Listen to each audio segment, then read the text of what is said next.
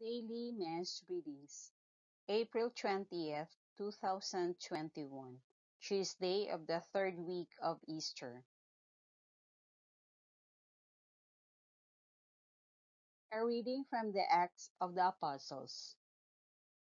Stephen said to the people, the elders and the scribes, You stiff-necked people, uncircumcised in hearts and ears, you always oppose the Holy Spirit. You are just like your ancestors.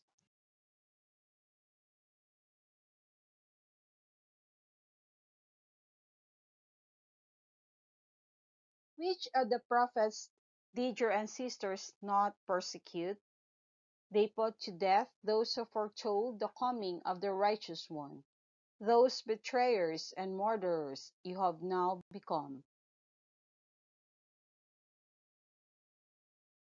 You received the laws as transmitted by angels, but you did not observe it.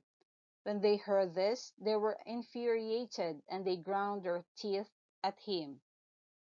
But they cried out in a loud voice, covered their ears, and rushed upon him together.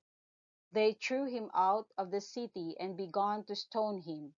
The witnesses laid down their cloaks at the feet of a young man named Saul. As they were stoning Stephen, he called out, Lord Jesus, receive my spirit. Then he fell to his knees and cried out in a loud voice, Lord, do not hold the sin against them. And when he said this, he fell asleep. Now Saul was consenting to his execution. The word of the Lord. Thanks be to God. Responsorial Psalm, let our response be, Into your hands, O Lord, I commend my spirit. Be my rock of refuge, a stronghold to give me safety. You are my rock and my fortress. For your name's sake, you will lead and guide me. Into your hands, O Lord, I commend my spirit.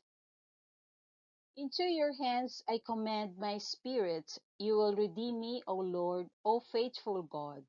My trust is in the Lord. I will rejoice and be glad of your mercy. Into your hands, O Lord, I commend my spirit. Let your face shine upon your servants. Save me in your kindness. You hide them in the shelter of your presence from the plottings of men. Into your hands, O Lord, I commend my spirit.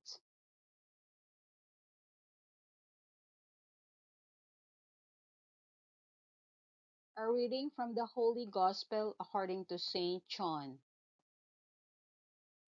The crowd said to Jesus, What sign can you do that we may see and believe in you?